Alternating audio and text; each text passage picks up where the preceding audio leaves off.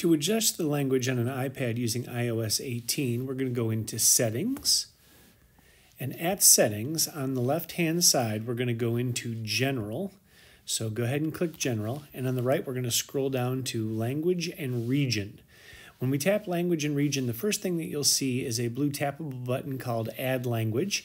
And you can add any languages from Apple's extensive list that you want to. And once you add those, your iPad might switch to that language. So I'm not going to do that right now, but I've already added English, Spanish, French, English UK, Russian, and Ukrainian. Once you add those, all of the websites can be translated into those particular ones, and you can add preference. The one that's on the top is where your iPad will be based. So my iPad is in English. If I were to move Spanish to the top, my iPad would switch into Spanish. It will also restart your iPad, which I'm not going to do right now because I'm in the midst of a recording. But you can determine the order in which you want them to appear, most important language at the top.